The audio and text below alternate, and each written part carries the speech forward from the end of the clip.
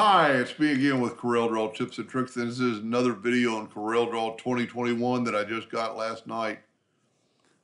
And one of the new features is perspective. And its perspective has been around a while, but now you can actually draw in perspective.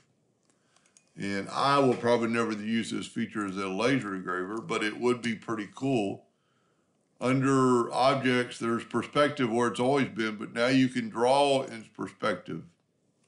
And you just kind of draw a rectangle from what I've seen so far.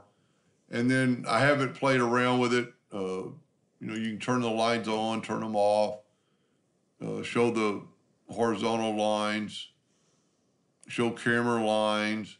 And like I said, I haven't played around with it, but we're going to do a, let's say a top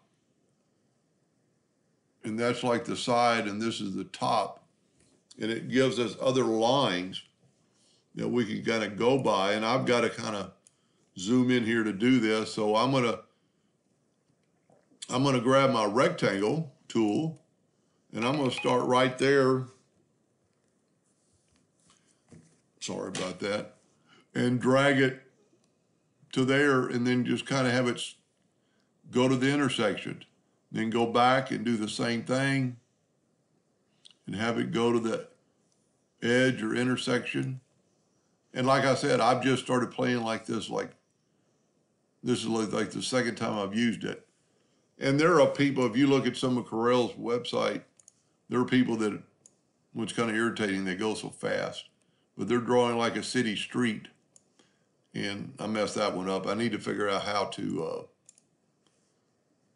change it, but if I ever, if, if I play around with it, I'll figure it out or watch somebody else's video. There's quite a few videos on Corel 2021, and it does have some new features. I'm not saying it's the um, all that yet, but then you could take and smart fill these in and and then make them different colors and kind of get a perspective look like that is going you know, down a, it looks like an upside down sidewalk right now to me. But I thought I'd just kind of show it off. And you, I mean, there are people building city streets out of this, and it looks like the city streets.